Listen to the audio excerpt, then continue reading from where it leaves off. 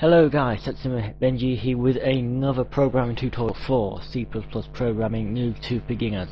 Uh, I mean, sorry, noob to programmers. And today's lesson is going to be a good one because this is about arrays. Um, that's turned blue. Never mind, that shouldn't turn blue. I imagine that's something to do with the compiler.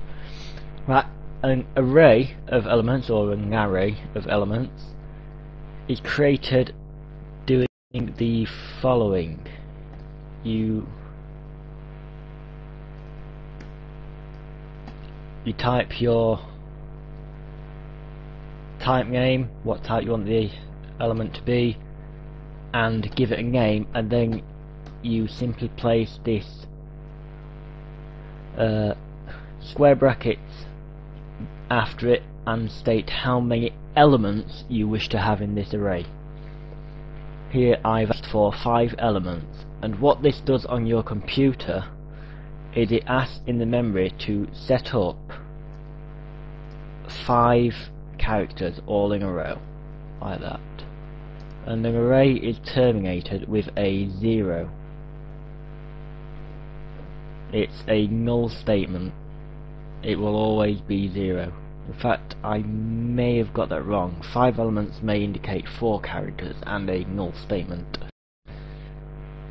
Uh, citation needed to whether that is five under null or four under null.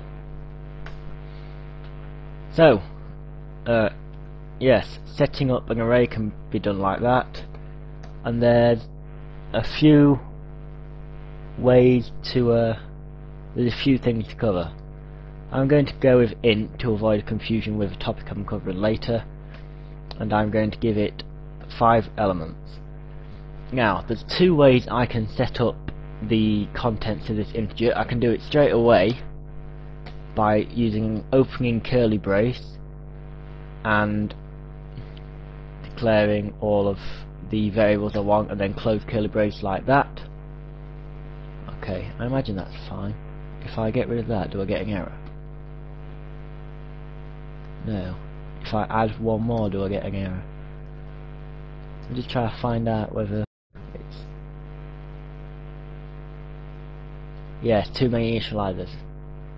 So, the number inside is the number of elements you are allowed to put inside it and then it's followed by a null termination automatically by the compiler but you don't really need to know that unless you're manipulating the data yourself which you shouldn't be for most situations. So I can set up the contents of this array which contains five integers all lined up next to each other by typing what I want them to be. I've just called them 0, 1, 2, 3, 4 or I can do it specifically by choosing which element I want to access and changing its value. Right, this is something important you need to know. The first element in an array is accessed with 0. Indexing always starts with 0, so I have 5 elements here. My maximum, well, all my values will be found in these storage locations. Like that. So yeah, this is how you access an element. The, for example, the fifth element of the array called var is accessed with square brackets number four. This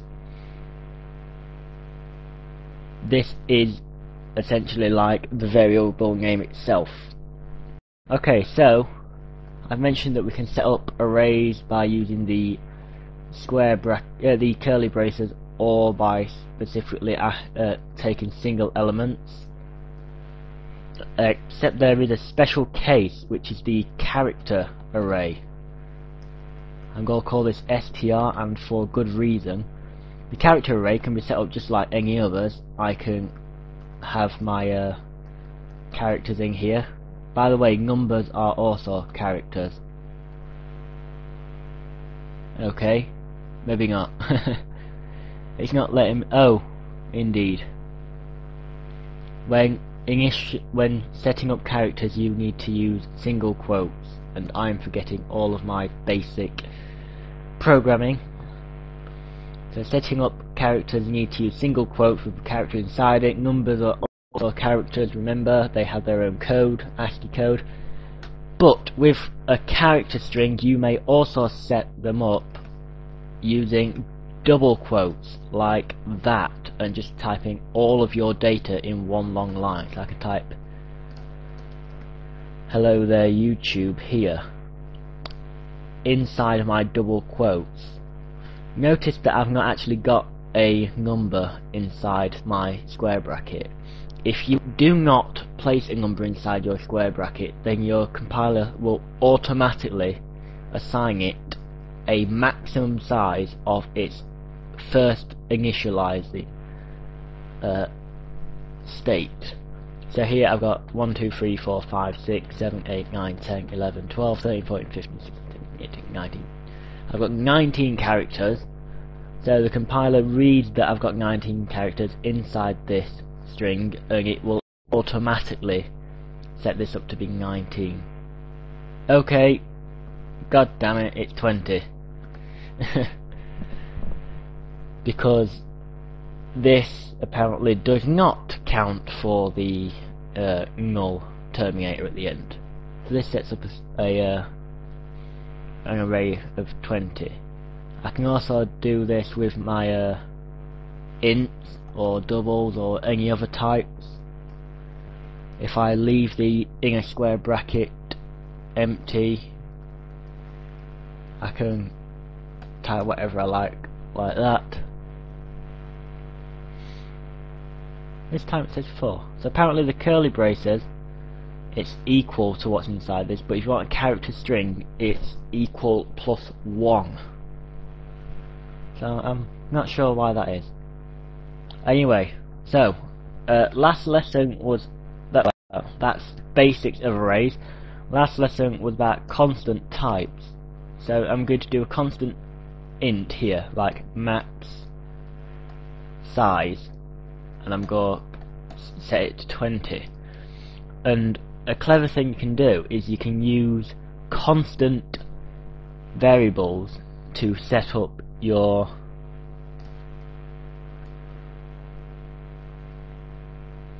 to set up your arrays because anything inside the square brackets must be a constant value. That's a big important factor. If you're setting up an array using this notation here, which is the array name followed by your square brackets with the size inside it, this size must be a constant value. Uh, and I can demonstrate that it must be constant by removing that there and getting an error here. The expression must have a constant value. There you go. Simple as. So now we have a use for constants or at least another use for constants. I could take this to my global scope and make sure that if I ever use an array, if I ever an array inside my program, that it can never be above this certain size. I mean that you may see uh, think that that's a bit pointless, but remember every variable you use in your program uses computer's RAM. So sometimes it is making sure certain things don't go above a certain size uh, can be very useful indeed. Now, uh, actually I'm going to put that back there. Const int max size equals 20. Uh, also it is standard notation to mark that any constants are in capital letters, usually with underscores in the middle, but not all the time. Uh, it's quite often to see them all just written as one word, which is really annoying. Uh, here, uh, um, this exit success is a macro constant defined as zero. I covered macro constants earlier, but I didn't think to mention the exit success. This is defined by Windows or whatever compiler I'm using. Although the compiler I'm using is made by the same people as Windows. So, and now I'm going to show something else really cool. So int var r for variable array of max size equals 0. By the way, you can set up an entire array to be the same as one element by this. So, set up an array, because remember, whenever you declare a variable, it's using memory from a random place on the computer, and it's not doing anything to that memory beforehand. So it's always best to make sure you initialize the data, just to make sure that it's safe to use later on and I'm going to use a loop which I hope I demonstrated earlier. And now I'm going to use my max size there. And this is one cool way of setting up for example setting up this array max size by using a for loop I could use while, but then I've got to do a few more things manually. So what I'm doing here, in this for loop, I'm setting up a temporary integer called i, which is going to be assigned to 0. On every loop iteration, I'm going to check if i is less than max size. If it is, I'm going to do the loop again. And after every loop is completed, I'm going to add 1 to i.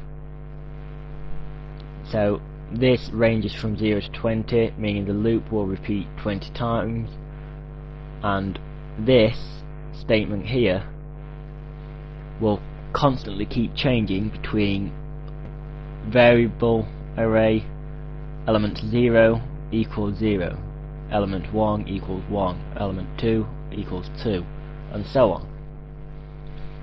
It is basically a very short way of writing everything out manually like so. I'd have to do that 20 times if I wanted to set them all up or I could do it in this bit here and write 20 elements out. But I'd rather not, I'd rather just put it in a for loop like that. There are of course other places where you use constants and arrays and for loops but uh, hopefully this covers the basics of that. And I'm hoping that I've covered everything I need to because I sort of came into this completely unprepared as you might have guessed. Uh, the next lesson is going to be on pointers hopefully and how they will link into arrays very interesting stuff and can also be very confusing. So I'm going to start off with just how pointers and references work and then go into how they work with arrays. So uh, that's all for now. Good luck programming and as I always say especially if you're following my tutorials because I think they suck. And thanks for watching if you have watched See you later guys.